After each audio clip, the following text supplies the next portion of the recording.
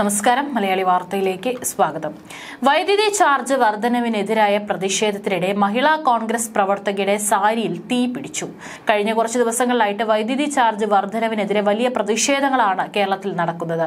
ഇതിനിടയിൽ പ്രതിഷേധത്തിനിടയിലാണ് ഒരു അപകടമുണ്ടായിരിക്കുന്നത്. ഉടൻ നിലത്ത് കിടന്ന് ഉരുണ്ടതിനാൽ പൊള്ളലേറ്റില്ല. ഇന്നലെ രാവിലെ പതിനൊന്നേ കാലോടുകൂടി Kollam K C B section ഓഫീസിന് മുന്നിലായിരുന്നു സംഭവം. കെ പി സി സി രാഷ്ട്രീയകാര്യ സമിതി അംഗം ബിന്ദു കൃഷ്ണ സമരം ഉദ്ഘാടനം ചെയ്തു. ഇതിനുശേഷം വൈദ്യുതി ബില്ലിൽ തീ കൊളുത്താനായി സ്ഥലത്തുണ്ടായിരുന്ന പ്രവർത്തകർ ആദ്യം പത്രക്കടലാസിൽ തീ കത്തിച്ചിരുന്നു. കാറ്റ് വീശിയതോടെ പത്രക്കടലാസിൽ നിന്ന് വനിതാ നേതാവിന്റെ സാരി തുമ്പിലേക്ക് തീ പടരുകയായിരുന്നു. സഹപ്രവർത്തകരും സ്ഥലത്തുണ്ടായിരുന്ന പോലീസുകാരും സംഭവം ശ്രദ്ധയിൽപ്പെട്ട ഉടൻ നിലത്ത് കിടന്നുരുളാൻ സുബിയോട് നിർദ്ദേശിക്കുകയായിരുന്നു. പിന്നീട് ജില്ലാ ആശുപത്രിയിൽ പ്രവേശിപ്പിച്ചെങ്കിലും ആരോഗ്യ പ്രശ്നങ്ങളില്ലാത്തതിനാൽ വീട്ടിലേക്ക് മടങ്ങി. വൈദ്യുതി നിരക്ക് വർധനയിൽ പ്രതിഷേധിച്ച് കോൺഗ്രസ് ഇന്നലെ സംസ്ഥാന വ്യാപക പ്രക്ഷോഭങ്ങൾ നടത്തിയിരുന്നു. കെ നിർദ്ദേശപ്രകാരം കോൺഗ്രസ് മണ്ഡലം കമ്മിറ്റിയുടെ നേതൃത്വത്തിലായിരുന്നു പ്രതിഷേധം.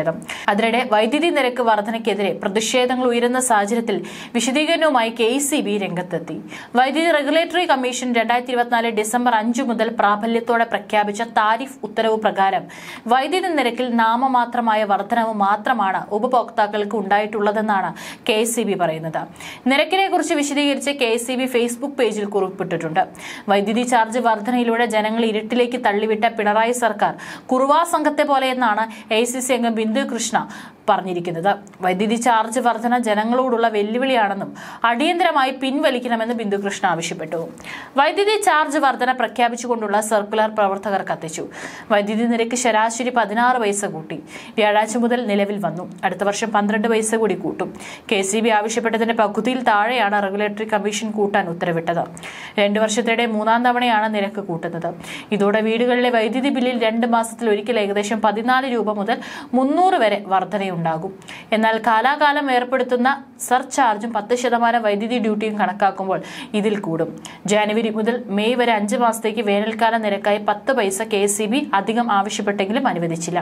ചെറുകിട വ്യവസായങ്ങൾക്കും അഞ്ചു പൈസ വീതം രണ്ട് വർഷം കൂടും.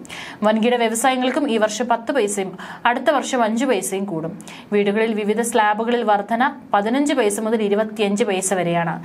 വീടുകളിൽ വൈദ്യുതി ഉപയോഗിച്ചാലും ഇല്ലെങ്കിലും നൽകേണ്ട ഫിക്സഡ് ചാർജ് രണ്ട് വർഷത്തേക്കും അഞ്ചു മുതൽ മുപ്പത് രൂപ വരെ കൂട്ടി. ഇത് ചെറുകിട വാണിജ്യ സ്ഥാപനങ്ങൾക്കും കൂടില്ല.